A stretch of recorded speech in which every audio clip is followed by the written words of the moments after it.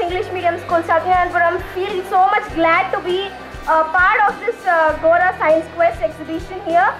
And after, before coming, I was thought uh, uh, that may, this may be a huge experience in my life, and it was a huge experience in my life. Uh, the most wonderful uh, experience uh, that have ever come to my life is this Gora Science Exhibition, and I feel very glad to be uh, part to take part in this uh, science exhibition. I thank the management for conducting such a nice program and uh, encouraging the young, young minds, young charms here. Thank you so much. Good morning everyone. This is Akshya from St. John's English Medium High School, BRTS Road. I I like I felt so happy for coming this year for this Gora Science Expo. This is first time I am coming here. I visited so many places and I felt so happy to come here. I thank sir to give me this opportunity. Thank you for everyone. Good afternoon to one and all. This is S. Vaishnavi of 8th standard studying in St. John's English Medium High School, Satyanarayanpuram branch. This is my first year to experience such type of uh, exhibition in my life. గత యాభై తొమ్మిది సంవత్సరాలుగా Gora science centre science exhibition నిర్వహిస్తూ ఉంది. మన ఎగ్జిబిషన్లో చాలా బాగా పెట్టారు. నా దృష్టిలో a progress of sixty years నా కళ్ళ ముందు చాలా కనిపించాయి.